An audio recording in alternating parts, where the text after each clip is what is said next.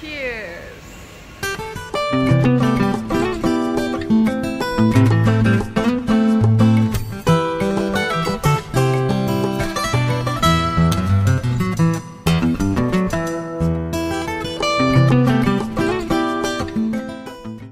Hello beautiful people আসসালামু আলাইকুম welcome back to my channel অনেক দিন পরে বাচ্চাদের নিয়ে বের হয়েছি।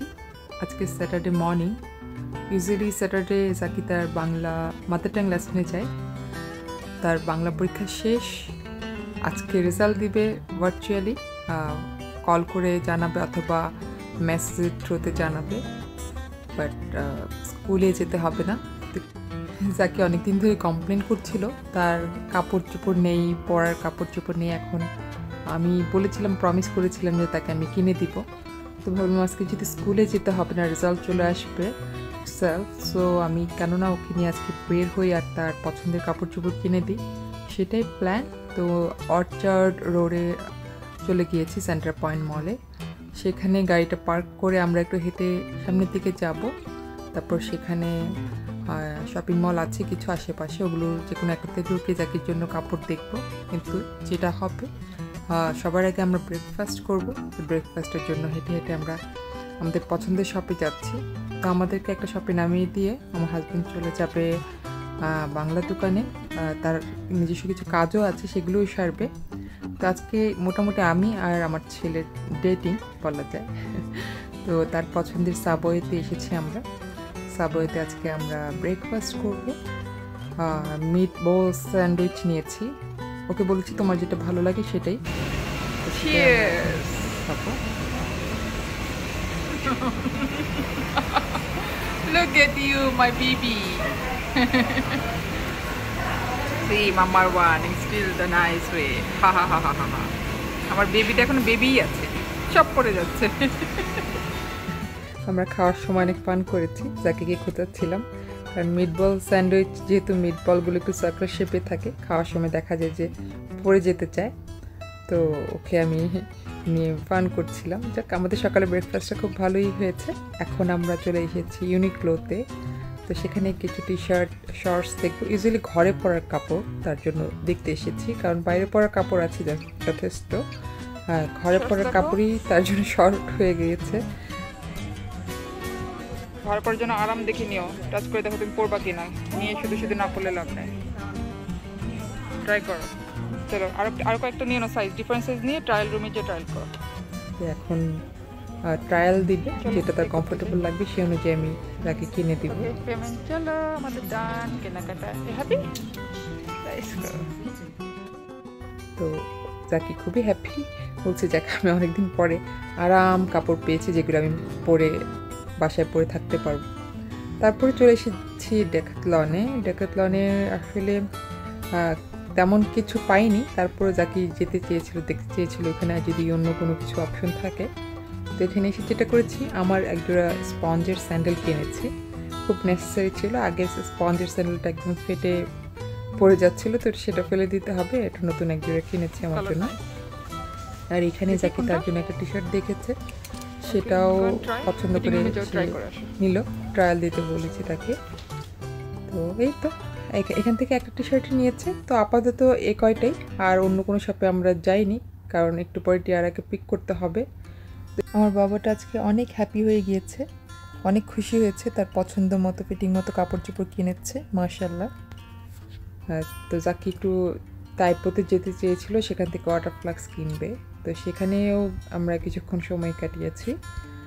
তো টাইপোতে ঘুরতে কেন জানি আমারও খুব ভালো লাগে। টুকটাক অ্যাক্সেসরিজ অনেক কিছু দেখতে পাওয়া যায়। আর টিয়ারার তো খুব পছন্দের একটা শপ টিয়ারা দেখলে নিশ্চয়ই বলবে, আমাকে ফেলে কেন গিয়েছো সেখানে? কেন আমার পরীক্ষা শেষ হলে যেতে পারতে না? ছোট বেবির মতো আমার মেয়েটা আসলে। তো যাই হোক, ওকে আর আলাদা করে ভিডিওটা দেখাইনি। আর তার এখন আমার ব্লগ দেখার একদমই সময় নেই। সামনে বড় একটা পরীক্ষা আসতেছে। ওর পরীক্ষা মানে আমার পরীক্ষা, আমার মাথা ব্যথা। তো যাই হোক। বাচ্চারা সুস্থ থাকুক, ঠিকমতো পরীক্ষা দেখ সেটাই মেইন আর এই তো, এখন চলে যাচ্ছি আমার হাজব্যান্ডের অপেক্ষায়। আমরা কিছুক্ষণ বসে অপেক্ষা করেছি, তো সে আসতে অবশ্য বাজার করে আসতে আসতে একটু সময় লেগে গিয়েছিল। জাকি অবশ্য আমার সাথে ঘুরতে খুবই পছন্দ করে, বলছে যে পরীক্ষা শেষ হলে আবার তোমার সাথে আমি এভাবে ঘুরতে আসব। তখন আমি বললাম, কেন টিয়ারাকে সাথে নিয়ে আসা যাবে না? বলে যে হ্যাঁ সেটা তো আর তুমি আমি হলাম না। তুমি আর আমি শুধু আসতে চাই। আমি বলছি ওকে তোমার সাথে আমার আরে আরও আসা হবে ডোন্ট ওয়ারি তো এই তোমার হাজব্যান্ড চলে এসেছে। আমরা এখন বাসায় চলে যাব। আর হ্যালো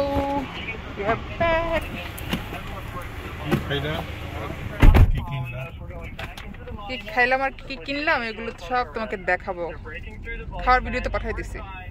তো আজকে আমি আপনাদের সাথে আমার পছন্দের রেসিপি শেয়ার করব। সেটা হলো বার্মাসালি রাইস নুডলস এই নুডলসটা খুব মজার হয়, তবে খুব সিম্পল কিছু টেকনিক আছে যেগুলো দিয়ে রান্না করলে নুডলসটার টেক্সচার এবং টেস্ট দুটাই খুবই ভালো থাকে। তো সেই ট্রিক্সগুলো আর সেই কীভাবে আমি রান্না করি মানে আমি আমার মতো করেই রান্না করি, ওইটা আমি দেখাবো। রান্না করতে কিছু আইটেম লাগে সেগুলো তো অবশ্যই ভার্মাসলি রাইস নুডলসের একটা প্যাকেট তারপর ফিশ কেক ক্র্যাব স্টিক তারপর চিজ তোফু আর আমি স্পিনাচ কেটে ধুয়ে নিয়েছি আর গার্লিক আর গ্রিন চিলি যেটা মিঞ্চ করে কেটে নিব। সবার আগে একটা বলে আমি পানি দিয়ে এটাকে ভিজিয়ে রাখব। এটাকে সিদ্ধ করা যাবে না। তো জাস্ট এটাকে আধা ঘণ্টার জন্য ভিজিয়ে রাখব। এটা হলো মেইন তারপরে আমি একটি প্যানে পরিমাণ মতো তেল দিয়ে সেখানে কেটে রাখা রসুন আর কাঁচামরিচ কুচি দিয়ে দিব। এটা ভাজতে ভাজতে এটার মধ্যে কেটে রাখা ফিশ কেক ক্র্যাব স্টিক আর কেটে রাখা টোফু সব দিয়ে এখানে ভেজে নিব আর দিয়ে দিব লেমন গ্রাস লেমন গ্রাসের একটা সুন্দর ফ্লেভার থাকে, এটা আমার কাছে খুবই ভালো লাগে। এটা অবশ্য অপশনাল এটা যদি আপনাদের ভালো না লাগে দেওয়ার দরকার নেই। এখন দিয়ে দিব ভিজিয়ে রাখা রাইস নুডলসটা এটা, এটার উপরে দিয়ে দিব তিন টেবিল চামচ সয়া সস আর এক কাপ চিকেন স্টক এখানে দেওয়া এই চিকেন স্টক আর সয়া সসটাই কিন্তু এটাকে কুক করে ফেলবে, আলাদা করে পানি যদি লাগে সেটা পরবর্তীতে লাগলে দিতে হবে বাট আলাদা করে সিদ্ধ করে নেওয়ার কোনো দরকার নেই। তো এটাকে মিক্সড মিক্সড অ্যান্ড মিক্স করতে হবে। এটা হলো এটার মেইন কাজ যেটা মিক্স করে করে এটাকে, এটার সাথে অন্যান্য সব ফ্লেভারগুলো কম্বাইন করতে হবে। এখানে কেটে রাখা গ্রিন চিলি দিয়েছি। আবার এটাকে কিছুক্ষণ মিক্স করতে হবে। কারণ নিচের কুক হয়ে থাকা নুডলসগুলো উপরে আর উপরেগুলো নিচে এভাবে উল্টে পাল্টে করে দিয়ে এটাকে রান্না করতে হবে। তারপর এখন আমি দিয়ে দিব ধুয়ে রাখা স্পিনাচগুলো। স্পিনাচ দেখতে অনেকগুলো মনে হলো মিশিয়ে একদম দেখেন নাই হয়ে গিয়েছে।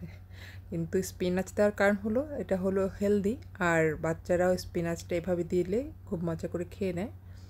তো এখানে আমার নুডলস কিন্তু রান্না হয়ে গিয়েছে, এখন আমি টেস্ট করব। তো খুব ইজি একটা রেসিপি কিন্তু খুব হেলদি এবং মজার। আশা করি আপনাদের এই নুডলসটা ভালো লাগবে। যদি ভালো লাগে, বাসায় ট্রাই করে অবশ্যই দেখতে পারেন। অনেকে এটাকে সিদ্ধ করে ফেলে, যেটা আমিও প্রথম প্রথম তাই করেছি। সিদ্ধ করে রান্না করেছি, দেখা যেত যে ভর্তা হয়ে যেত, যেটা খেতে একদমই ভালো লাগতো না। বাট এখন যেভাবে আমি রান্না করি, এভাবে রান্না করলে এটার টেক্সচারটা ভালো থাকে আর খেতেও অনেক সুস্বাদু হয়। তো এখানে চিংড়ি মাছ দিলেও খুব ভালো লাগে বাট চিংড়ি মাছ বাঁচতে আমার অনেক বেশি কষ্ট লাগে। তাই দেখা যায় যে আমি চিংড়ি মাছ ছাড়াই সহজভাবে যেভাবে রান্না করা যায় ওইভাবে রান্না করেছি। মোমেন্ট অফ ট্রুথ সেটা হলো কোভিড টেস্ট করতে হবে নিজে নিজে বাসায়। অফিস থেকে আমাদের একটা ইমেল এসেছে যে আমাদের মানডেতে অফিসে যাওয়ার আগে সানডে নাইটে কোভিড টেস্ট করে সেটা রিপোর্ট পাঠাতে হবে। যদি রিপোর্ট নেগেটিভ আসে তাহলে আমরা অফিসে যাব আর যদি পজিটিভ আসে আমাদের কোয়ারেন্টাইনে থাকতে হবে হোম কোয়ারেন্টাইনে তো খুব, ব্যাপারটা খুব সিম্পল মনে হলো আমি জানি না, খুব নার্ভাস হয়ে গিয়েছিলাম। আমি অনেক অনেক শিওর ছিলাম যে আমার নেগেটিভই আসবে, কিন্তু মনের ভিতরে ভয়টা এত বেশি কাজ করছিল, আমার মনে হচ্ছিল যে হার্টবিট খুব বেশি বেড়ে যাচ্ছিল।